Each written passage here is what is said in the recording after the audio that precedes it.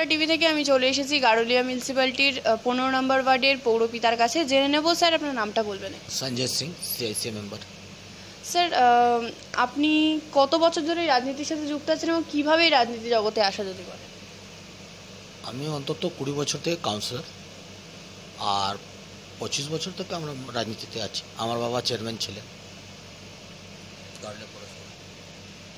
আপনি এমপির সাহায্য নিয়ে কতটা আপনার এলাকা উন্নয়ন করতে পেরেছেন যদি বলেন?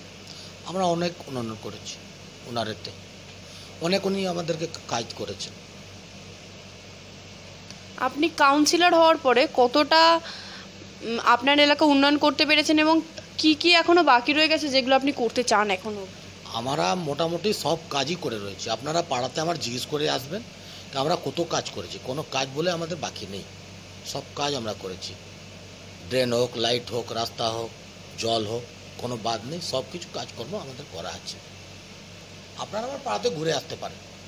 আমার ওয়ার্ডেই ঘুরে আসতে এই লোকসভা ইলেকশন ভোট প্রচার আপনারা কবে এবং কীভাবে শুরু করতে চলেছেন? আমাদের ভোট প্রচার ধরুন দেওয়াল লিখন থেকে নিয়ে মিছিল থেকে নিয়ে স্ট্রিট ধরুন কর্মী সভা থেকে নিয়ে সব কিছু মোটামুটি কমপ্লিট মানে চলছে।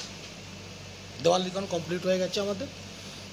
তারপরে কর্মী সম্মেলনও হয়ে গেছে মিটিংও মিছিলও চলছে। ডোর টু ডোরও চলছে সবার বাড়ি বাড়ি যাওয়াও হচ্ছে। আপনাদের দল থেকে এখন এই মুহূর্তে বেরিয়ে গেছেন মুকুল রায় এবং অর্জুন সিং। এই বিষয়ে যারাই আপনাদের টিম থেকে বেরিয়ে যাচ্ছে তারাই আপনাদের টিমের দিকে আঙুল তুলছেন এবং কি আপনাদের মমতা বন্দ্যোপাধ্যায়ের দিকে আঙুল আঙুল তুলছেন। এই বিষয়ে কি মনে হয় যে ভোট বক্সে কোনো প্রভাব পড়বে? কোনো প্রভাব পড়বে না। ওনারা যখন দলে ছিলেন কি পেয়েছেন এখন দল থেকে বেরিয়ে ওনারা কি পাচ্ছেন ওনারা নিজেই বুঝতে পারবেন। দল তো ওনাদেরকে অনেক কিছু দিয়েছিলেন। দিদির দিদির ছবি ছিল তো সব কিছু ছিল। দিদির ছবি সরে গেছে।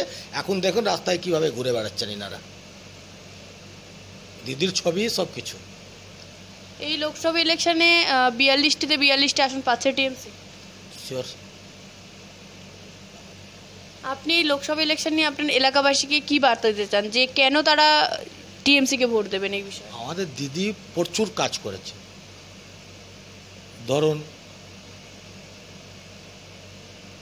যত সব্যসাথী থেকে নিয়ে যত আমাদের কাজকর্ম আছে, অনেক দিদি আমাদেরকে এ করেছে। এর জন্য মানুষ তো নিশ্চয়ই ভোট দেবে। কেন ভোট দেবে না? দিদি তো প্রচুর, সবাইকে সব দিক দিয়ে তো কাজ পাচ্ছে সবাই মানুষ। সব মানুষ তো হেল্প পাচ্ছে। এই ইতিমধ্যে এই লোকসভা ইলেকশনে দেখা গেছে যে দুটো নতুন মুখ দুজন সেলিব্রিটি মিমি এবং নুসরাত। এই বিষয়ে কি মনে হচ্ছে? জনসাধারণ এটাকে কীভাবে নেবে? এটা কি ওই জগৎ থেকে এই জগতে আসা এটা কি মেনে নেবে সবাই? দিদির জন্য সবাই মানবে। দিদি দিদির কাজকর্মের জন্যই মানবে আর কি। দিদির ছবি দেখেই তো সবাই দাঁড়িয়েছে। ঠিক আছে থ্যাংক ইউ স্যার জেনে নিলাম এনার বক্তব্য। এবার অপেক্ষা ভোট এবং ভোটের রেজাল্ট সঙ্গে থাকবেন বিশ্ব বাংলা টিভি।